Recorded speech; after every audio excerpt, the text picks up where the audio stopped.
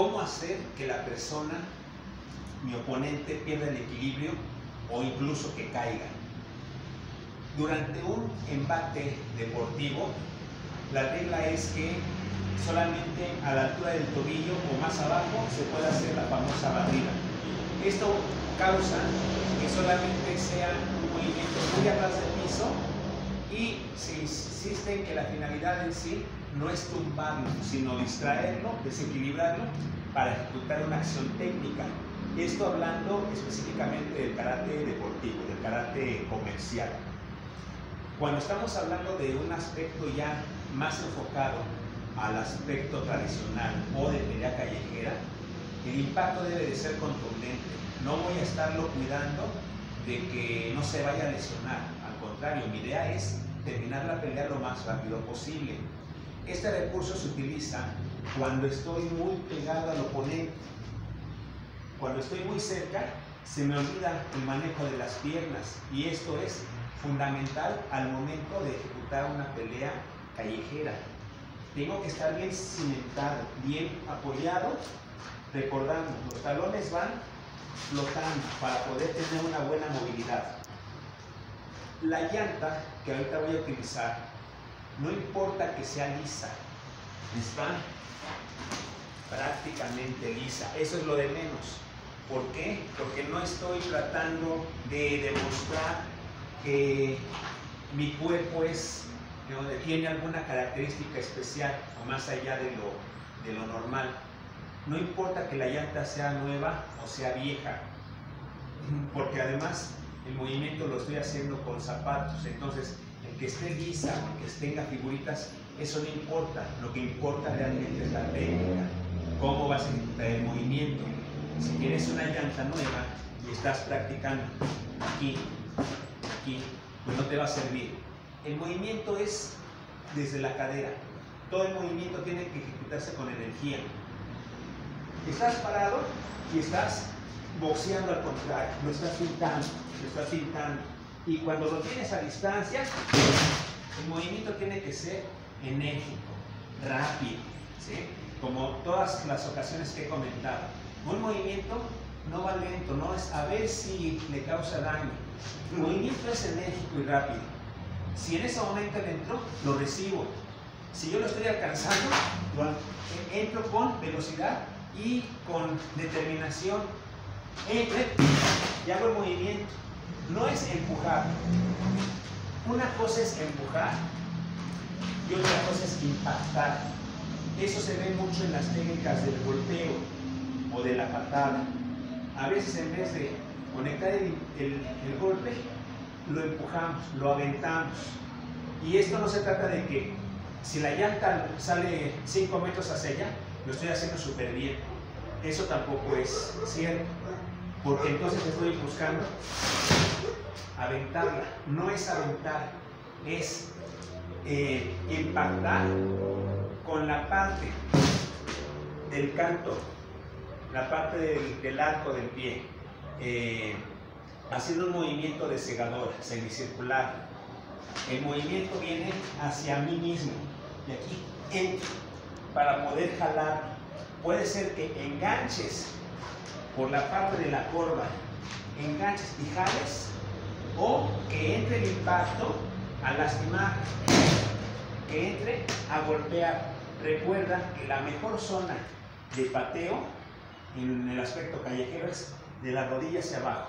Aquí arriba, igual puedo hacerlo, pero no va a llevar la misma fuerza y aparte, esta cantidad de músculo que tenemos en el cuádriceps o en el bíceps plural me va a servir como un reforzador y va a sonar a lo mejor muy fuerte, pero el verdadero dolor empieza en la parte de la rodilla hacia abajo es cuando la patada, si la ejecutas de, de manera correcta, o la barrida en este caso, te da una sensación de, de entumecimiento, de, de adormecimiento, eh, se te adormece la pierna.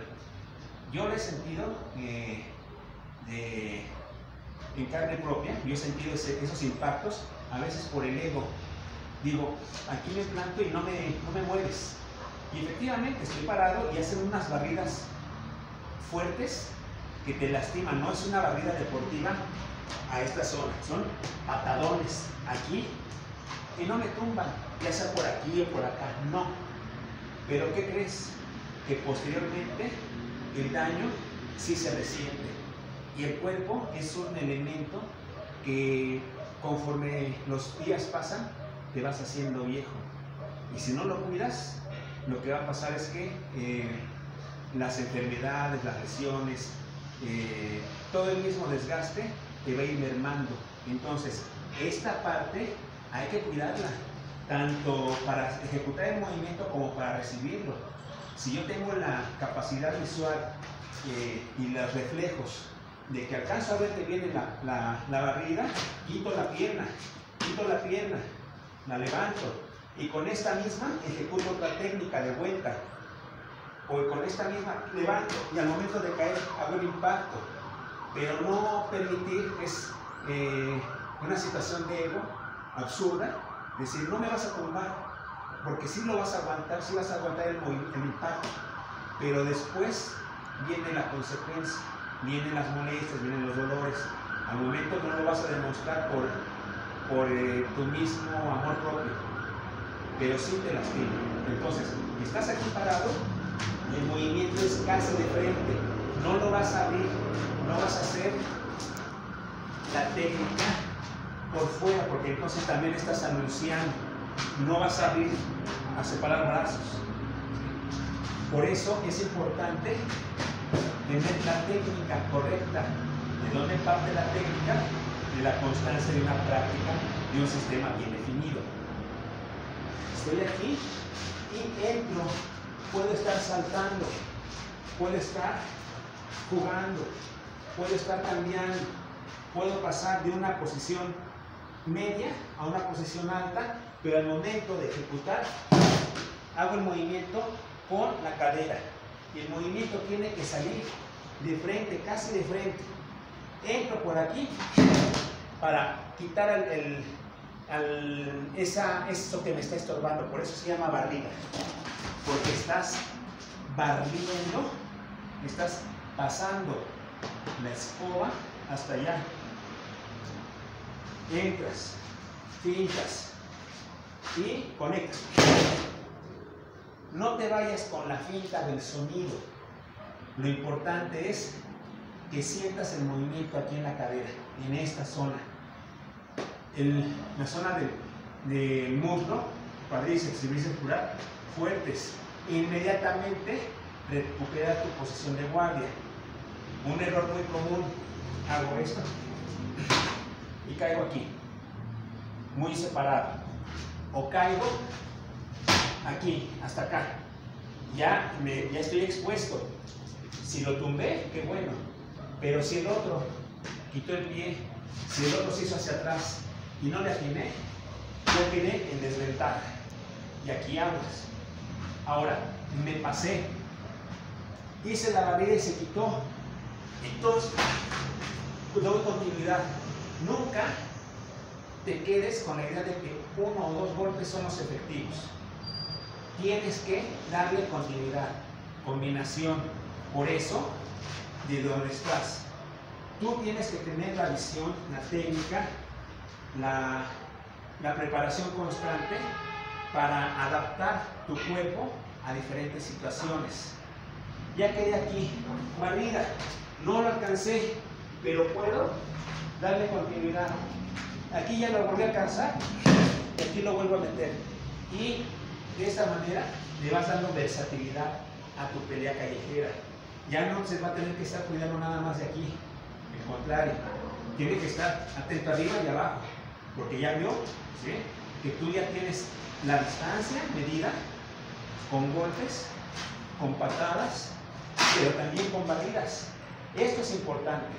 Es eh, fundamental el movimiento de las piernas y sobre todo recuperarte, colocarte, hacerte para atrás, caemos, recuperamos, caemos, continuamos, caemos y en el momento que caigo aprovecho, pero siempre buscando mi comodidad. Vas a pelear cómodo, no voy a pelear de una manera que me sienta incómodo. Eso es absurdo. Vas a pelear en tu zona de confort. Ese es uno de los objetivos. Tú vas a estar en tu zona de confort y tienes que sacar de tu zona de confort. Al contrario,